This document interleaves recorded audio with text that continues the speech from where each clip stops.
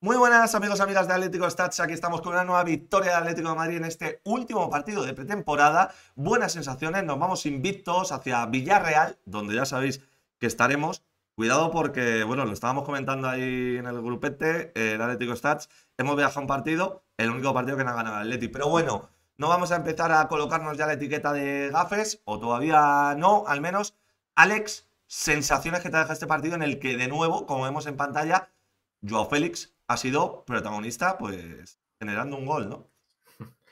Sí, bueno, positivo no encajar ante, ante el rival, digamos, importante, ante el rival. Sí, porque esto no era el Kitchen, no era el mm, Getafe tampoco, no era el Numancia. Aquí ya era un test serio, ¿eh? eh quitando ritmos de pretemporada, pero tenías enfrente a un Douglas Luis, a un Blaovic, ¿no? Eh, jugadores de nivel. Sí, la Juve está haciendo un proyecto interesante, mejorando el equipo de la temporada pasada y creo que en líneas generales ha sido un partido, sobre todo, que lo podríamos definir con, solidez, ¿no? Creo serio, ¿no? un Atlético muy, muy serio. Serio y ordenado, que sabías, sabía qué hacer en ambas fases, tanto en fase defensiva como en fase ofensiva. Y bueno, a estas alturas de pretemporada creo que es lo importante, saber qué quieres hacer, saber cómo lo quieres hacer. Ahora entraremos a analizar lo que ha pasado, pero en definitiva, eso a estas alturas de pretemporada lo importante. Luego ya irás añadiendo ritmo, mejores sensaciones individuales, etcétera, pero por lo menos se ve que el plan para atacar y el plan para defender está definido. Al final, bueno, tenemos que hablar lógicamente del debut de Robin Lenormand, mm. tenemos que hablar del el gol, ¿no? Y de los minutos de Joe Félix, que es un poco el Gigi y el Jan, ¿no? Bueno, ahora, ahora lo, lo detallamos. Tenemos que hablar también de los muy buenos minutos de Juliano Simeone, también de algunos aportes desde la cantera, como Costi, Javi Serrano. Ya vamos a ello, pero primero quiero ahondar un poquito en eso que decías, un Atleti muy serio, un Atleti muy comprometido, un Atleti que replegaba en 5-4-1. Tenéis ahí la imagen del, del 11, pero ya sabemos que este Atleti de dos media puntas hay veces que es aburrido sin balón, y eso, sinceramente, por más que a algunos les duela, creo que es una gran noticia, porque al final lo que venía, lo que veníamos achacando a anteriores versiones del Atleti, a la versión, por ejemplo, del Cholotaca, era que precisamente sin balón mm, aburrido no era, era bastante divertido para el espectador neutral y para el espectador contrario, ¿no? Y este Atlético de Madrid cierra muy bien, líneas muy juntas, 5-4-1 y hoy lo hemos vuelto a ver. Buenas sensaciones en ese sentido, ¿no, Alex? Sí, mira, creo que justo es lo que has dicho. Venimos de, una temporada pasada en la que defensivamente éramos la antítesis a, ser aburrido, ¿no? Éramos un, equipo caótico.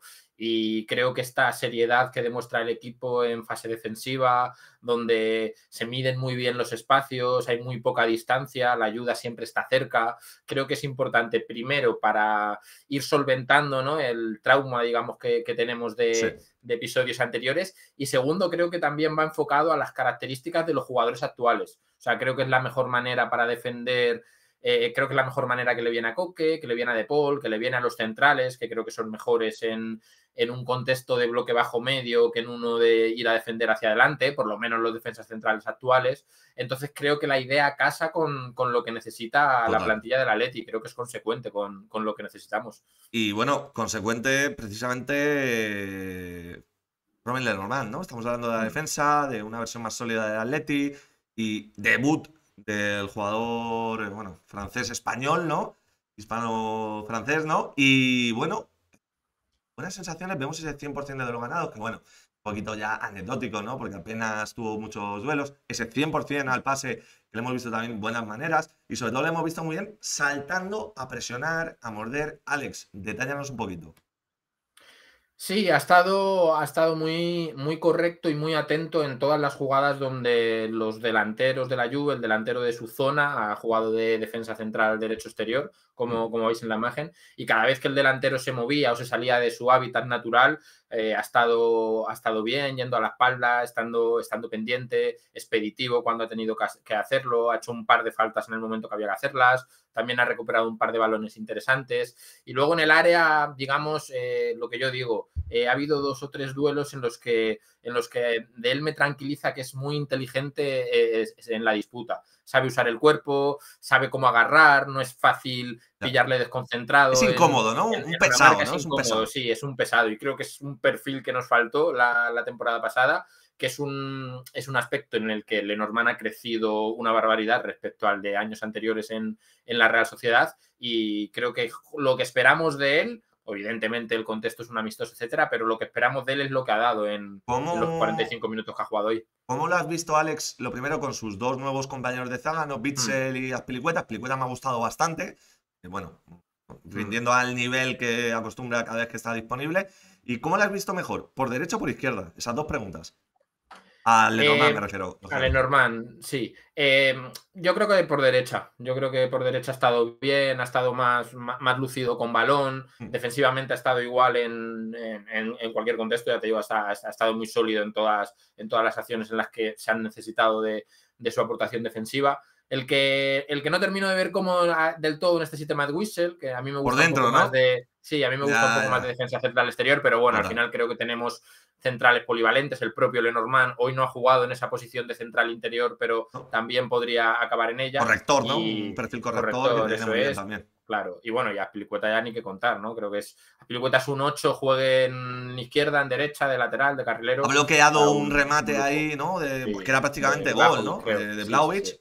bueno. Mm. Vamos, con, vamos avanzando en el 11 sobre todo, ¿no? Porque bueno, al final, luego en el descanso ha habido variaciones, ¿no? No tantas como en anteriores eh, amistosos, que prácticamente cambiaba el 11 por al completo, ¿no? Hemos tenido la entrada de Renildo, de Javi Serrano, ahora vamos con él, y la entrada de Joao Félix. Y bueno, la de Correa también, ¿no? Esos cuatro cambios. Yo quiero destacar, antes de empezar con los cambios, un nombre que a mí la verdad no me ha convencido mucho, porque ahora le veíamos también ahí arriba Riquelme. A mí me deja su mm. pretemporada de nuevo frío. Sí, la verdad es que tuvo un destellín ¿no? en, el, en el primer partido que mete, mete un buen gol, un giro y un buen golpeo, porque bueno, al final el golpeo lo tiene, pero sí que es cierto que quizás es una pretemporada en la que al final puede ser un poco injusto esto que digo, ojo, pero siempre hay pretemporadas en las que hay jugadores que tienen eh, más deberes, digamos, que otros. Hay jugadores que no tienen que demostrar tanto en pretemporada. Y que tendría que ganar un puesto viviendo Juliano, viviendo Joao de momento, la competencia, sí. Julián, ¿no? Eh, cuidado. Una pregunta, Alex, porque yo de esto no me, no me he mm. fijado mucho. En la primera parte, lógicamente, eh, Rorro ha jugado el carrilero, y Samulino por dentro. La segunda parte es como lo tenemos ahí en pantalla, porque me lo ha pasado Oscar, pero la verdad no me he fijado. ¿Ha jugado Riquelme de media punta diestro, Joao Félix, hmm. por izquierda?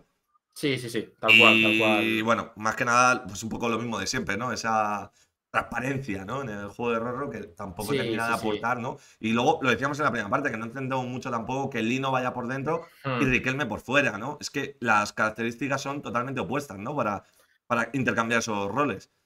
Sí, la verdad es que es raro porque incluso, incluso te puedes esperar que, bueno, que empiece Riquelme por fuera y Lino por dentro, pero en algún momento de la primera parte varíe en posición o en fase ofensiva intercambie en rol para intentar jugar con ese segundo de despiste del rival, pero no, la verdad es que se han mantenido en posiciones fijas. Hemos visto a Lino incómodo sin poder encarar, jugando mucho rato de espaldas. Riquelme, si por, por fuera, si no está en un contexto en el que pueda sacar de la velocidad, creo que tiene peor uno contra uno que, Lino. Entonces, por ahí es verdad que nos cuesta entender que está buscando, buscando Simeone, pero bueno, yo presupongo que con la competencia que hay en la media punta y con lo titular que fue Lino en el carril la temporada pasada, yo creo que que para Villarreal por lo menos Riquelme no tiene el puesto en el 11 y Lino damos por hecho que sí en el carril, más allá de las, de las probaturas con Riquelme. Bueno, y hablando de probaturas, estos son los últimos movimientos que hay en el 11. Reinildo pasa al carril, entran Costis y entra Juliano Simeone. Vamos a ir ahora con Juliano. Antes tenemos que ir a Joao y luego destacar que solo Bitzel, Pilicueta, Moldovan y Llorente han acabado el partido, ¿no? Porque incluso Coque luego entró Taufik, ¿no? Si no me equivoco. Sí, en los últimos cinco mm, minutillos. ahí está ese apunte, ¿no? Parece que son a lo mejor los, los nombres más eh, estables de cara al 11 mm. de, Villarreal. ¿Y cómo has visto tú a Moldovan, Alex? Porque es la primera vez que juega 90 minutos con el Atlético. Sí, sí, sí. La verdad es que ha estado poco expuesto. Me esperaba más de, de, la Juve a nivel ofensivo. Creo que ha sido un equipo un poco plano, que ha querido tener el balón por tenerlo más que para para terminar de progresar o terminar de verticalizar. Le he visto bien con los pies, creo que tiene buen juego de pies. Alguna salida interesante ahí con Blaovic, ¿no? Por alto. salidas, sí, interesantes por alto. algo, que llevarnos a boca, pero lógicamente, mm. para llevarnos a boca, el gol de Joao, ¿no? Que bueno, ya sabéis que tampoco soy yo el más fiel defensor de o menino de euro, ¿no? Pero Ahí sigue el tío, tres partidos de pretemporada, tres partidos en los que interviene en un gol. Es verdad que el otro día el del Kitche, mm. bueno, era una semi-asistencia en el gol de, de Sorlos, un mm. rebotito ahí, pero tuvo una y la mandó a guardar. 100% de, eficacia de remates. El tema es que luego no entra mucho en el colectivo, ¿no? En el juego colectivo. Sí, aún así es cierto que creo que a lo mejor defensivamente eh, tenemos la tendencia de pedirle porque nos ha dejado de ver en, anteriores etapas, pero creo que justo hoy, creo que a lo mejor eso lo estamos llevando un poquito al extremo, porque creo... Ya le miras con lupa, ¿no? Sí, creo que el partido no ha requerido un, un repliegue que diga, mira cómo está bajando yo a defender, porque la Juve con balón ha sido muy pausada, el Atleti, como decíamos, en 5-4-1 es un equipo muy aburrido, que no necesita de un esfuerzo excesivo de un jugador, porque están todos muy colocados, porque el, campo de acción a nivel de, defender es, es, más reducido. Entonces, en el gol ha estado muy bien, además es una cosa que creo que buen remate y que él debería Correa, ¿eh? claro, muy bien. Sí, no vamos a descubrirlo. reducidos. Sí, pero que es una cosa que Joao debería de, ver, de ver a sí mismo que a la hora de definir cuando menos se complica cuando, cuando mejor réditos saca, porque tiene un disparo en seco bastante, bastante fuerte. No, quizás no le pega por perfil de jugador, pero tiene un golpeo de balón bastante, bastante potente. También ha participado en la jugada del segundo gol, que ha puesto a jugar a Llorente. Bueno, yo creo que con balón ha estado bien dentro del. Ha creado dos ocasiones también. partido, ha creado dos ocasiones. Y bueno, al final lo que decimos, de momento. Futbolísticamente eh, está, rindiendo. Está aportando. puede gustar más o menos, pero, pero está rindiendo. Simeone además le ha puesto todos sus minutos en esa media punta izquierda. O sea, que es de los jugadores quizá que, que tiene una posición más específica. Que y más definida, sí, sí, sí. En un once que cambia mucho, pero. Entonces, veremos, veremos de aquí a. Bueno, veremos. Hablábamos de la media punta zurda. Mañana en directo a las 4 de la tarde profundizaremos un poquito en el tema Joao y también a ver si tenemos alguna noticia de, de Gallagher, de Julián. Pero. Hoy, rapidito, hoy era nuestro día, digamos, de libranza, eh, fin de semana libre, pero claro, nos hemos juntado aquí 10-15 minutos para hablaros un poquito de este amistoso con la Juve, pero no sin antes tocar un poquito el último tema, Juliano Simeone. Mm. Este tío, si se queda, va a aportar mucho, ¿eh? Hoy ha provocado el penalti, ha sido un pesado, ha robado el balón, luego el penalti, eh, de verdad. Me parece que es un jugador muy, muy aprovechable, sea el hijo del Cholo o sea el primo de quien quieras. Sí, sí, sí. De hecho, creo que si no fuera el hijo de Simeone, creo que no habría ninguna duda, no habría ninguna duda sobre su valía, porque creo que tiene características ideales para lo que buscas en una segunda unidad un jugador que no va a mirar la cantidad de minutos, sino la, calidad, que si juega 10 o si juega 15 lo va a interpretar bien, porque, porque lo vemos, al final, más allá de las condiciones que es evidente, que es un, jugador que le mete ritmo a todas las acciones, que ataca bien los espacios, que a la hora de presionar va, va, a empujarte a defender hacia adelante, creo que tiene una cosa que no se paga y es que es listo que sabe usar el cuerpo, como, como ha, demostrado en la acción del penalti, que se lleva muchos rebotes, que parece que la va a perder, pero se lo lleva pues, por energía, por saber usar el cuerpo, por tren inferior. Entonces creo que es un jugador que, que, va a tener claro siempre que su aporte tiene que ser desde la energía. Y creo que en una temporada larga, en el fútbol actual de los cinco cambios, creo que es un perfil que, es un perfil tan diferente, tan, tan concreto, que, necesitas quedarte. Yo, yo me mojo y creo que, en una plantilla de 23, 24 jugadores de campo tienes que, querer contar con él. Yo de momento, amigos y amigas de YouTube, os adelanto que mañana lunes publicaremos mm. un análisis que vamos a grabar ahora sobre Juliano Simeone y sobre si, por ejemplo, puede ser el socio perfecto de Julián Álvarez, ahí compatriota, ¿no? Pero vamos a dejar Juliano ya, porque lo que os digo, ahora nos vamos a poner a grabar otro vídeo y vamos a profundizar un poquito en el cholito dos apuntes rápidos. Muy bien Javi Serrano de nuevo, ¿no? Eh, parece que el Cholo confía bastante en él. Y bien Costis desde ese central zurdo. También parece que el Cholo confía bastante en él. Así que, gente, dale a like si os ha gustado el partido de Atleti. Dale a like si os ha gustado, por ejemplo, Juliano. Y nos vemos mañana en directo a las 4 de la tarde. Gracias, Alex. Gracias.